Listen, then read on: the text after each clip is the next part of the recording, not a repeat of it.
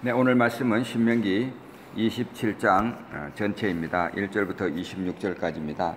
어, 앞에 1절부터 10절까지 어, 말씀해 보면 이스라엘 백성들에게 요단을 건너서 여호와께 주시는 땅에 들어가면 거기에서 큰 돌을 세우고 석회를 바르고 거기에다가 하나님의 율법의 말씀을 기록하라 이렇게 명령을 하고 있습니다. 기념비를 세워라 라고 말하고 있는 것입니다. 그래서 이 기념비에 하나님의 말씀을 세우는 어, 새겨 넣는 어, 그것이 무슨 의미가 있는 것인가를 생각할 때에 적어도 한 세 가지가 의미가 있습니다. 첫째로는 그 땅을 주시는 근거를 상기시켜주는 중요한 상징물이다. 어, 그래서 그 땅을 주시는 이유는 이 언약의 백성이 되고 말씀을 잘 순종하는 백성이 되어야 된다. 어, 그 땅에 있는 그 민족들이 너무나도 하나님의 뜻을 거스리는 거스리는 그런 삶을 살고 있기 때문에 그들을 멸하는 이유가 뭐냐? 그것이 바로 언약의 백성, 거룩한 백성이 그곳을 점령하여서 하나님의 기뻐하시는 뜻대로 살아가도록 하기 위해서 그 땅을 주시는 거다. 그래서 그 땅을 주시는 근거를 상기시켜주는 그런 상징물입니다. 이 말씀대로 살아가는 것이 결국은 그 땅에서 존재해야 될 이유다 하는 것을 보여주시는 것입니다. 두 번째로는 이스라엘 백성들이 불순종할 때에 그들에게 증거가 되도록 어, 이 상징적인 어, 바위를 어, 큰 돌을 세우라고 하였습니다.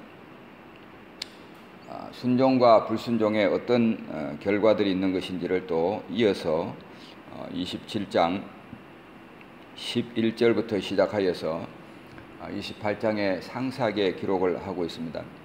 세 번째로는 율법의 단순함에 대한 증거가 되도록 하였습니다. 그 돌덩이에다가 다 쓸 수 있다면 아, 그 말씀은 어, 그렇게 종류가 많거나 복잡다단하거나 그런 것이 아니라 단순하게 두 가지 아닙니까? 순종하면 복받고 어, 불순종하면 저주를 받는다. 아, 그것이 율법의 요지다라는 것입니다.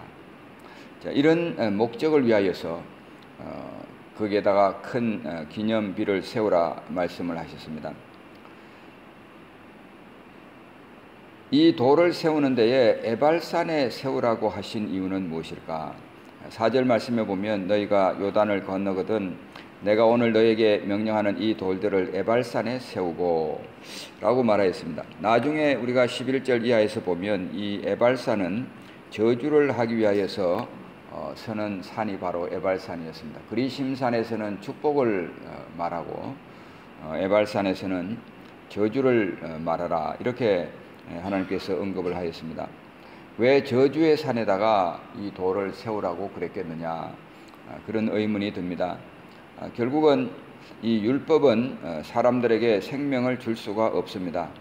율법은 온전한 순종을 요구하는데 그거를 따라가다 보면 결국은 어, 저주를 만날 수밖에 없습니다. 우리가 다 그렇게 완벽하게 순종을 할 수가 없기 때문에 그렇습니다.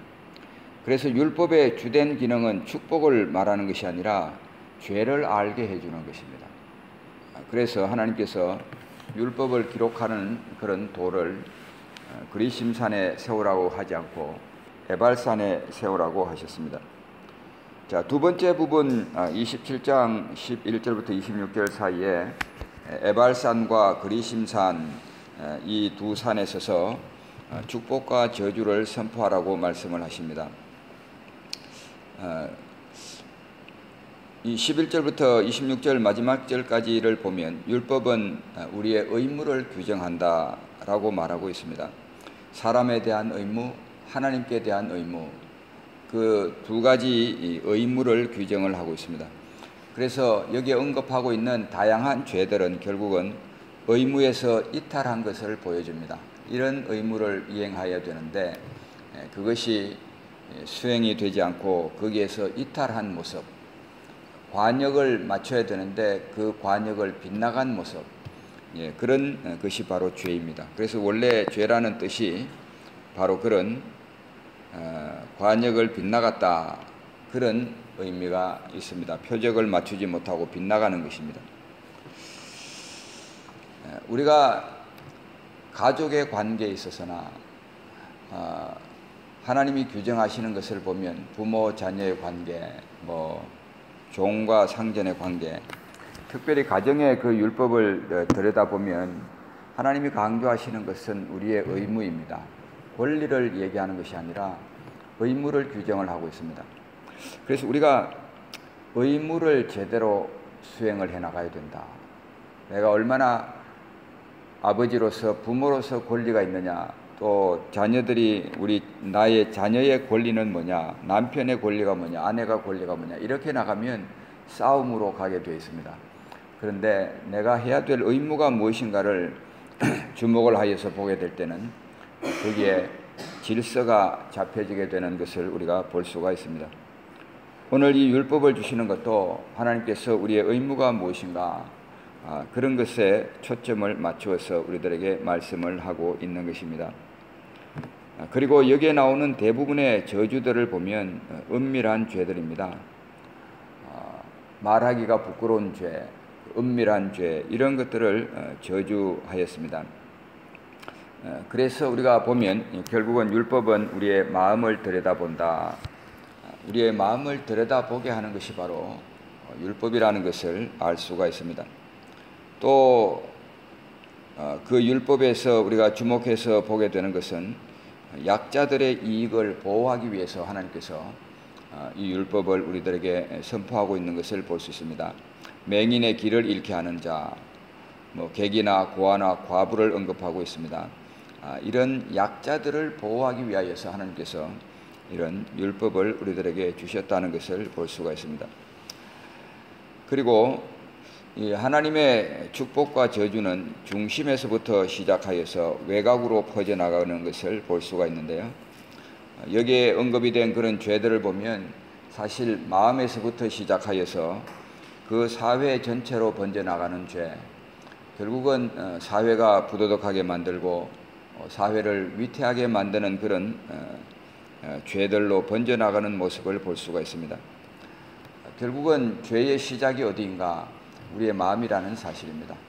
마음에서부터 시작하여서 마음이 부패하고 마음이 하나님을 떠나고 마음이 진실하지 못하고 마음에 정함이 없고 마음이 온전하지 못하고 마음에 전심이 되지 못하기 때문에 그런 마음에서도 시작하여서 결국은 그것이 죄로 나타나지게 되고 그 죄는 사회를 위태롭게 만드는 죄로 번져나간다라는 사실입니다. 그래서 우리가 결국은 어, 하나님 앞에서 깊이 있게 성찰하고 돌아보아야 될 것이 우리의 마음입니다. 내 마음이 어디 있는가? 내 마음에 무엇이 들어 있는가? 내 마음에 무엇을 소중하게 생각하고 있는가? 무엇에 내 마음이 빼앗기고 있는가?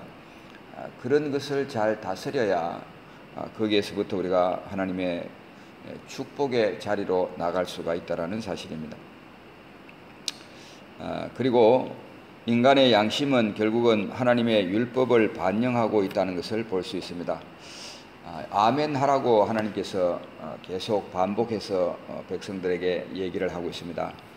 아, 백성은 아멘 할지니라 모든 백성은 아멘 할지니라 이렇게 계속해서 어, 반복이 되고 있습니다. 11번에 걸쳐서 이 말이 반복이 되고 있다는 것은 우리가 아, 진실된 양심을 가지고 사는 사람들은 아멘 하는데 그리낌이 없습니다. 그런데 만약에 잘못된 길을 가고 있는 사람들이 이것을 아멘이라고 하려 그러면 마음에 참 많은 꺼리낌이 되고 어려움이 될 것입니다. 결국은 하나님의 그 말씀에 우리가 동의하는 것, 그것이 바로 우리 양심이 찾아가야 될 길입니다. 아, 우리 양심을 그 율법이라는 것은 결국은 우리 양심을 반영하는 것이다. 긍정적인 부정적인 반응을 우리가 보이게 되어 있습니다. 그리고 잘못하는 사람들은 이미 그 양심의 가책을 받게 되고 양심의 짐을 가지게 됩니다. 아멘이라고 말하기가 어려운 그런 양심의 가책들을 받게 되는 것입니다. 율법은 어, 어, 인간의 양심은 바로 이 율법의 반영이다라는 사실입니다. 그리고 이렇게 두 그룹으로 나누어서 한 그룹은 그리심산에 서고 또 한 그룹은 에발산에 서서 축복과 저주를 선포하는 이 장면은 궁극적인 분리에 대해서 우리들에게 대한 좋은 예시를 보여주고 있다라고 볼 수 있습니다. 결국 마지막 때에 우리가 두 그룹으로 나누어지게 될 것입니다. 하나님 앞에 서서 어, 천국에 들어갈 수 있는 그런 그룹이 있고 또 하나는 저주를 받아서 영원히 울며 이를 갈미 있는 그런 두 그룹으로 분리가 되어질 것이다 라는 것입니다. 지금 여기서 우리가 어떻게 사느냐 하는 것은 앞으로 영원한 우리의 운명을 어디에서 보내게 될 것인가를 분리시키는 그런 결과를 낳게 될 것입니다. 축복을 누구나 받기를 원합니다. 저주를 싫어합니다. 아, 그런데 이상하게도 우리 마음에는 미혹을 받는 것이 있습니다. 아, 하나님의 그 율법의 정도를 가기보다는 아까도 말씀드린 것처럼 어, 하나님의 말씀은 우리의 의무를 규정하고 있는데 관역을 제시해주고 있는데 그 관역을 빗나가는 그런 어, 삶으로 자꾸 가고자 하는 그런 미혹된 마음이 있습니다. 타락한 마음의 본성이 그렇습니다. 아, 그래서 결국은 우리가 축복의 삶을 사느냐, 저주의 삶을 사느냐, 그렇게 할 때에 가장 심플하게 보여지는 이 두 가지 길, 거기에서부터 우리 마음의 마음을 들여다보고 우리 마음을 하나님 앞에서 잘 컨트롤 해 나가지 못하면 우리도 어, 저주의 길에 언제부터 서게 되는 그런 우리 자신의 모습을 발견하게 될 것입니다. 하나님은 어, 그들에게 약속의 땅에 들어가기 전에 거기에다 큰 돌을 세워라, 아, 석회를 바르라, 그리고 율법을 기록하라. 아, 그 단순한 하나님의 말씀, 축복이냐 저주냐, 그 두 가지 가운데서 우리가 선택할 수 있는 길이 무엇일까? 모두가 다 마음속에는 어, 축복의 길을 선택하기를 원합니다. 이 축복과 저주는 중심으로부터 외곽으로 나간다는 사실을 우리가 기억해야 되겠습니다. 우리 마음에서부터 시작하여서 사회를 병들게 하는 그런 것이 바로 어, 축복과 저주의 중심에 서 있다라는 사실입니다. 그렇다면 우리가 하나님 앞에서 부지런히 살피고 어, 다스려야 될 것이 바로 우리 마음의 중심이다라는 사실을 기억해야 되겠습니다. 저와 여러분의 삶 가운데서 우리의 중심이 하나님을 향하여 서고 어, 우리가 에발산에 서는 것이 아니라 늘 그리심산에 설 수 있는 삶이 되시기를 우리 주님의 이름으로 축복합니다. 기도하겠습니다. 하나님 아버지 은혜를 감사합니다. 우리들에게 이 율법의 말씀을 주시고 우리들이 살아가야 될 길을 보여주시고 그것이 복잡 다단한 것이 아니라 축복의 길이냐 저주의 길이냐 순종의 길이냐 불순종의 길이냐 우리에게 질문하고 계십니다. 하나님 아버지 우리에게 모든 것을 주시고 능히 거기를 갈 수 있는 자원이 되어 주시는 우리 주님을 찬양합니다. 우리의 마음이 미혹받지 아니하고 하나님 아버지 우리의 마음을 다스리며 우리의 마음을 살피며 우리의 마음이 그 중심이 주님을 향하여 설 수 있게 하셔서 하나님 우리가 에발산에 서지 아니하고 그리심산에 서는 삶을 살아갈 수 있도록 은혜를 베풀어 주시옵소서. 주님의 가르신 기도로 예배를 마칩니다.